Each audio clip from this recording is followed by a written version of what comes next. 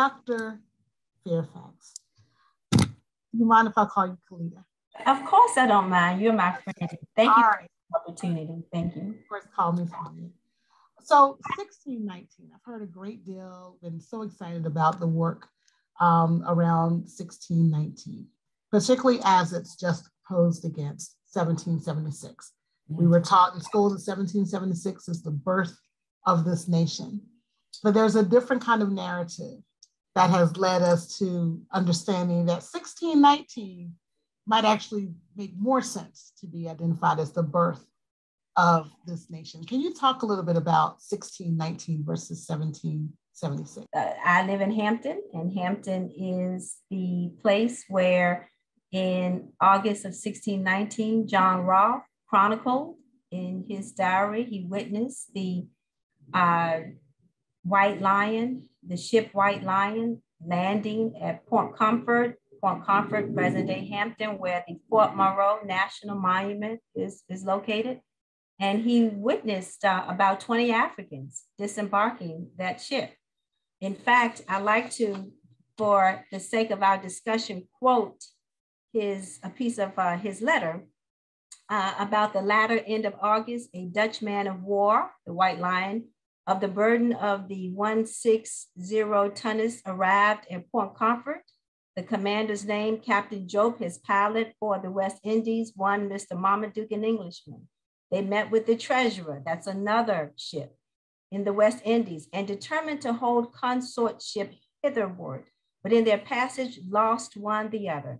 He brought not, uh, not anything but 20 and odd Negroes, which the governor and Cape Merchant bought for victuals, whereof he was in great need, as he pretended, at the best and easiest rate they could. So here, these African people from Angola uh, was traded, were traded for, for, for food uh, that they needed. And hence we see the beginning uh, uh, with the treasurer, the ship treasurer landing some days afterwards. We see the beginning of African people entering into this, this forming of English North America, English Virginia, if you will, uh, given uh, the subjugation of, of Native people.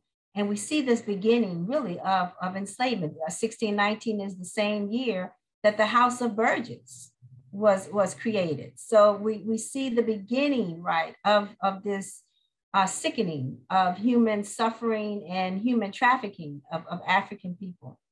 And it would birth what would become Virginia as a leading colony. Uh, and we all know in years to come, so goes Virginia, does the rest of, uh, of the country. 1619 is vitally important in that those early laws which racialized uh, human treatment, which uh, legalized enslavement, uh, began to be birthed in, in Virginia. Uh, and so when we understand African people, we should not only uh, use 1776, the birth of what would become America, but the fact that African people had been here even prior to 1619 because African people came from countries that were uh, seafaring countries surveil the, the, the, world. And so we, we really should never start our history with it, with enslavement, but with the long history of African people. But with a particular consequence to 1619 is the fact that Virginia and or America would develop as a plantation capitalistic country, uh, a racial capitalistic system, a civilization that the world had really never known before until uh, that moment. And I think it's important and incredibly important for those of us who are in the social sciences to recognize in the lived experiences of people's ancestry and, and how it's very much connected to uh, patterns of behavior, institutional patterns of treatment. And then this whole notion of how then do we attend to, to people who come from, right, those uh, patterns where continuously we're having the same experiences because of who we are culturally, racially. And so I believe that's just a little bit of why 1619 is, is important, with particular emphasis for social workers to really understand that you, you cannot talk about healing and helping uh, that's outside of history. Everything that we do with regards to transformative change, this thing called social justice, this thing called equity, uh, is about a reckoning with, with history.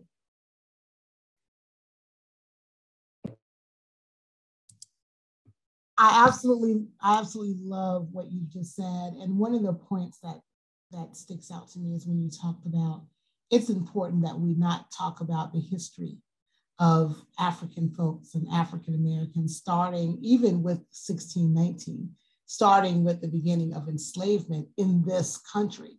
Why is that important for social workers in its contemporary context?